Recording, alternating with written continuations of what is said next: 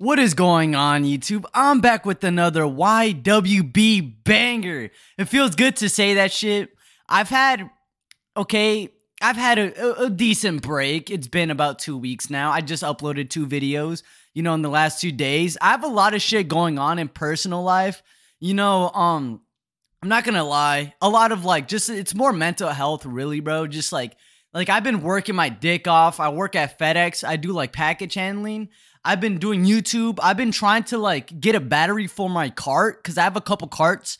I just don't have the superb battery because they're superb. I'm not trying to. Okay, I already exposed it, but um, I got some superbs on the way. It's just I need the battery for them. Nobody has batteries, so I've been not able to do like a, a review video, and um, I've been really I, I haven't had Wi-Fi for like two weeks as well, a little over two weeks, so that's another cause. But hey, let's let's do this chemical class let's get right into the video. So today's chemical class, we're talking about cl- clon- clonazepam. God damn, I can't speak. Clonazepam, aka Klonopin, K-pins, Rivitol, whatever you want to call it. So I've talked about Xanax slash Alprazolam slash Bromazolam yesterday's video. Uh, I just little uploaded it yesterday on the 12th of January. And also, Happy New Year's, boys. I kind of missed out on that too. Damn, it's been so long. It's been since uh, December.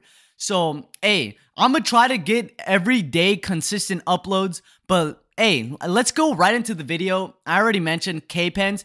So, I've as I mentioned, I talked about alprazolam a little bit on the video. I was more of a user of alprazolam. K pins are something you you rarely get. Okay, K pins are like the 2CB of the benzo world, okay? So, like, you rarely get Klonopin, bro. Like, it's mostly just Xanax. Everybody has Farmapram. Everybody has, like, somebody that can easily press, like, 500 bromaz pills.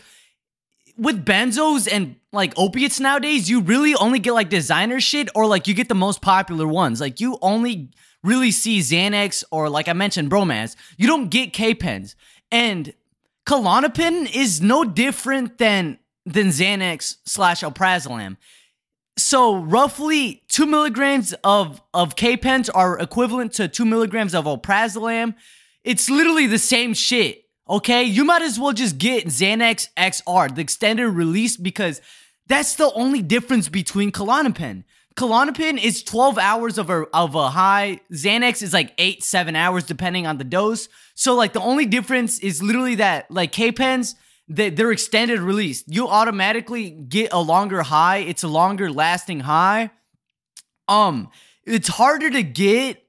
And the upside, the like literally the only really plus is it tastes good too. To, in my opinion, Klonopin tastes sweeter. Uh, Xanax just has that nasty ass like chemical coke taste. You know how like blow or like MDMA, they just oh my god, it tastes like fucking bleach, dude. But like Xanax, it, it tastes like bleach, like dish soap. I don't know. It's it's it's weird, but but K pins, it just tastes like sugar. It's like this like sweet chemical sugar taste. It's at least in my opinion.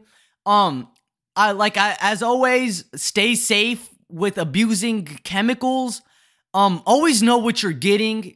Um, K pins, like I mentioned, it's no different than a Xan. It, it really is no different. A longer high, it tastes sweeter.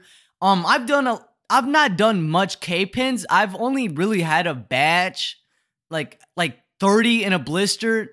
I've I've only really sold them I've never really popped them. I've done a couple times. I've I've had my fair share of mixing K pins with like alprazolam. I've done like two milligrams of that, two milligrams of K pins, two milligrams of K pins, four milligrams by themselves. I've done it with like temazepam. I've done it with fucking perks.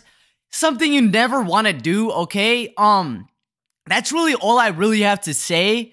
K-pins, I don't really want to do a, a, whole ass video on it because it's literally a benzo. It doesn't do no different than Xanax.